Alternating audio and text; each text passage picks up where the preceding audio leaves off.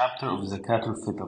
Ibn Umar radiallahu anhuma said, The Messenger of Allah sallallahu alayhi wasallam obligated Zakat al-Fitr. One, a sa' of dates or grain on the Muslim, the slave, the free, the male and the female, the young and the old. He ordered it to be paid before the people go out for the salah, agreed upon.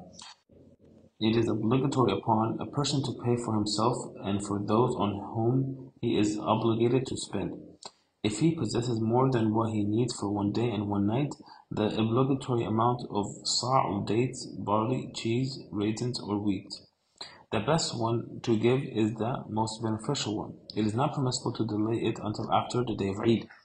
The Messenger of Allah sallallahu alaihi wasallam obligated it as a form of purification for the fasting person from vain speech, indecency, and as a nourishment for the poor.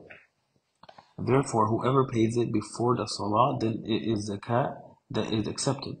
And whoever pays it after the salah, then it is another charity, narrated by Abu Dawood and Ibn Majah. The Prophet ﷺ said in the meaning of which, Seven will be shaded by Allah on the day when there is no shade except His. 1. A just Imam, a leader. 2. A young person who grew up in the obedience of Allah.